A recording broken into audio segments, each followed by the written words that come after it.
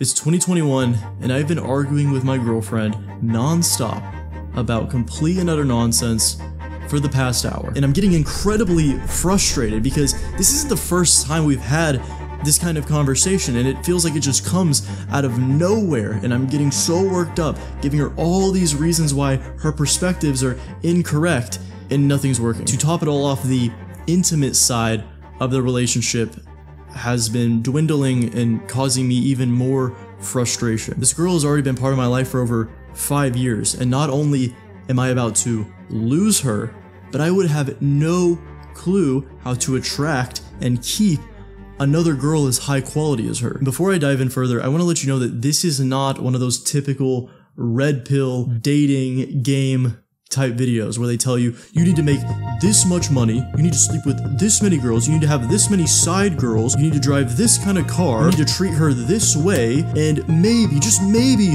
you'll get to see the nip of a trashy Miami hoe. And don't get me wrong, there's plenty of nuggets of true advice that give you insights on the nature of men and women. But in this video, I am going to share you the exact principles, the traits, the mindset you can adopt to not only draw women towards you, but ensure that they will want to stay a part of your life forever. And once I understood these things and began enacting it, my relationship did a complete 180. It went from her arguing with me all the time, considering moving out and getting her own place, to becoming completely obsessed with me. She's more feminine and fun than she's ever been in the past. The intimate side of the relationship is uh, fantastic, and we have never had one of those kinds of arguments since that point. And I'm not saying this to flex, I'm saying that this is the reality that one can achieve when you adopt these principles. I am not special. I'm a very average looking guy who makes very average amounts of money right now. In the future, I'm gonna make money. I'm gonna get rich. You know what I'm saying? I discovered and followed these seven steps. By the way, fair warning, if you do all these, your partner might beg you to marry them, which I guess that's a good problem to have. So, step one, and I made this the first one because this alone is going to get you so far. You need to have a North Star.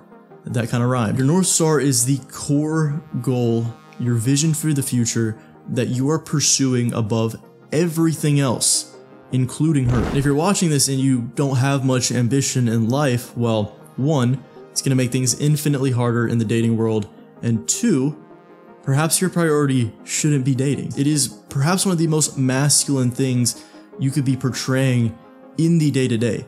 There is something you want and you are relentlessly pursuing it with every fiber of your being. And you have to ensure that she sees that. She needs to be aware of what's going on. There's this common red pill notion that people throw around that, oh, women just wait at the finish line and, and pick the winner. That's not the case whatsoever. There are plenty of good girls out there that will gladly hop in the passenger seat with you if they see you actively trying to win the race. But you have to actively be making progress towards this. She needs to be able to see you changing. It's like if you were to buy a stock and the stock doesn't budge for years. The longer that time goes on, the more likely you're going to want to sell the stock. So be sure you're actively progressing and make sure she sees it. Don't let her just see you yap about your goals and then play Fortnite for three hours. Which ties into step two, which if you don't do step two, step one doesn't matter. You need to have delusional levels of self assurance. If you are displaying that you have an almost hypnotic level of confidence that you are going to achieve what you set out to achieve and you're not going to stop, she will in turn become hypnotized by that as well. Now, of course, this is a little harder because it involves your self image, which I have videos talking about that. But essentially, what you need to do is you need to take your ideal self, the version of yourself you want to be, the version of yourself that is required to reach those goals that you have, and your current self, which there's go they're not going to be aligned, there's going to be a gap, and just work on closing the gap. You don't have to even fully close it because it takes time, but just the act of closing the gap is going to exponentially explode your self-assurance and confidence. It's like when I used to get bullied for being skinny, right? And it just it would get me so upset. I would get so triggered because kids would be like, "Oh, look at you, you're just skin and bones, skinny kitty, haha." But then as soon as I got in the gym and knew I was going to stick to it, and knew I was gonna make changes in the long term, those comments did absolutely nothing to me. Also, just the confidence itself is going to make people magnetized towards you, men and women. And when you do attract said women, you need to start implementing step three, and that is treat attention like currency. Humans in general have a psychological need for attention. I mean, if you took someone and put them in a social deprivation chamber, they would lose their minds and start talking to themselves and seeing things, they would go psycho. But because of biological factors, women tend to value attention even higher than men do. So, when you're navigating a relationship for a woman, you can kind of think of it as if you were an employee. And if an employee is doing bad, you wouldn't pay them more. But if an employee is doing really well, you would pay them more. Same with attention. You need to know how to give a lot of attention at certain times in a relationship and pull it away at certain times based on their behavior. And I'm not saying this in a manipulative way, it's just human nature, it is just psychology. And most importantly, because it's like a currency, you need to avoid inflation. If you give away so much attention non-stop, the value of it is going to plummet into nothing. Sometimes women are just going to test you or poke your buttons in order to get attention, even if it's negative attention. And the best thing you can do in those moments is to just withdraw all of it. Do not let any pennies fall out. I remember once I started undergoing this transformation and she tried to start one of those arguments like the ones in the past, and instead of getting worked up, instead of feeding into it, I just shrugged it off kept doing what I was doing, and she just quickly dropped it. And then later that night, she was all over me. So clearly, we didn't need to have that argument. And speaking of emotional responses, then you need to go to step four, which is embrace stoicism. This is like masculinity 101. As men, we tend to default to a more steady equilibrium of emotions, while women tend to be more of a roller coaster. They like the ups and downs, but do not get sucked into the ride. This is a controversial take, but men and women are different. What is cool for them, these emotional roller coasters, is not cool for you to do. Be the station for her to park at, be the rock for her waves to crash upon. Do not become another roller coaster, another wave, because the more you display this trait, the more it's going to light off all these receptors and chemicals in her brain because you are displaying that you are immensely reliable, immensely resistant, which are very high valued traits for a long term male partner. And of course, the best exercise for this is meditation because it builds the mental muscles, the skill, because it's a skill, you can't just all of a sudden decide to be stoic, because in reality you're just gonna be repressing emotions. You have to build the skill and the ability to observe emotions without identifying with them and let them pass. And it gets easier and easier and easier the more you meditate, which is why I have a completely free five day guided meditation series you can check out after this video. It's in the description. Step five is you need to distance yourself from her.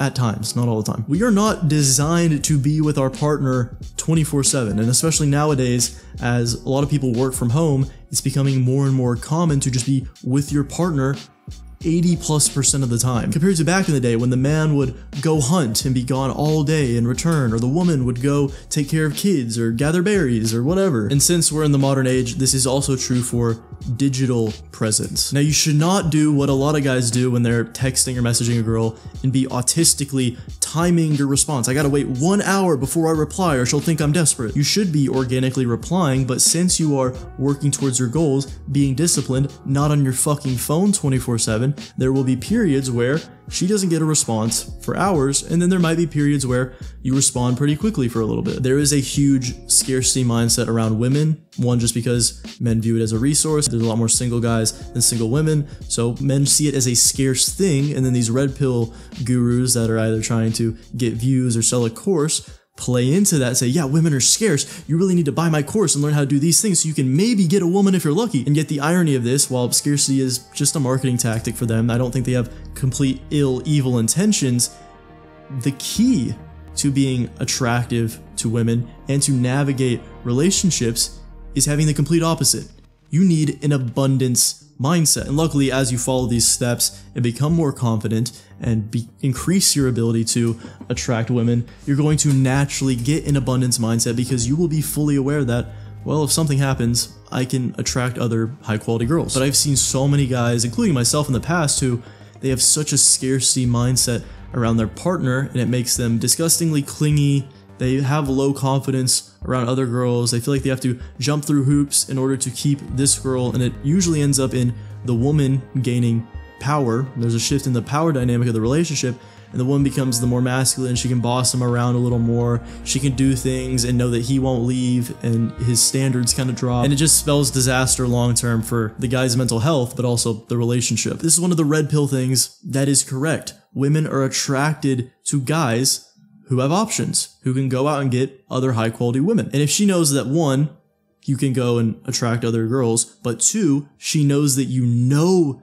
you can do that, the dynamic is always in your favor and it will instantly increase her perceived value of you. Also, I forgot to say this whilst recording, but stop listening to so much simpy music. You are literally programming your subconscious to have an immense scarcity mindset with your partner. And finally, step seven is just to keep things interesting. The last thing you ever want to do to a woman is bore them. I mean, honestly, it's better to trigger them than to bore them. So don't get her flowers every single Friday like clockwork. Don't be the funny guy or the stern guy or the nice guy or the bad guy 24 7. Switch it up as you would if you were being an authentic human that is very multifaceted and has different personalities depending on different scenarios. And by the way, if you followed what I said earlier by having a goal, continuing to develop yourself, continuing to pursue this better future, you will always be evolving, and that will always keep things interesting. There's a video on the screen right now that'll help guide you towards crafting that perfect future vision and goals. But look, if you're struggling with high amounts of insecurity, of lack of discipline, of distraction, then I highly suggest you check out Mental Mastery. Link in the description. It's my full masterclass that will not only make you more attractive to women, but attractive to opportunities, attractive to success, attractive to overall positivity in life. You can see if it's right for you just by clicking the link, reading it, or watching the video. That's it. I hope you learned something. Hope you're inspired. I hope this is a refresher from all of the garbage being spewed out in the dating world. Bye bye.